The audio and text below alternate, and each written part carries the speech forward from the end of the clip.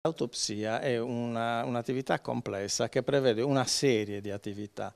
Solo all'esito di questa serie di attività è possibile avere il quadro completo, se no abbiamo dei pezzettini che possono essere smentiti dagli accertamenti successivi. Una decina di giorni almeno, insomma, 10-15 giorni ci vogliono. In attesa dunque degli esiti autoptici sul corpo dell'autista quarantenne del bus Alberto Rizzotto, che potrebbero anche svelare la causa dell'incidente, il procuratore Kerchi ha evidenziato che al momento non risultano altre indagini sul cavalcavia, come riportato in questi giorni da alcuni organi di stampa su un presunto fascicolo relativo a dei crolli di cemento segnalati proprio alla procura negli anni scorsi. Io intanto voglio vedere se abbiamo ricevuto quei, questi documenti di cui tanto si parla.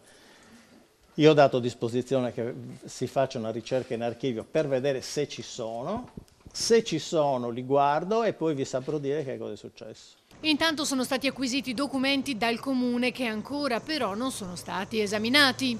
Stiamo ancora aspettando sia la, la, dire, la, le comunicazioni dei vigili del fuoco, sia le comunicazioni della polizia municipale, che anche questi evidentemente hanno dei tempi di individuazione, di assemblamento e di redazione che è, insomma, è necessario che è necessario rispettare. La Procura sta ancora valutando quali perizie effettuare e a quali tecnici affidarle, mentre si continuano a sentire i superstiti già provati fisicamente ed emotivamente.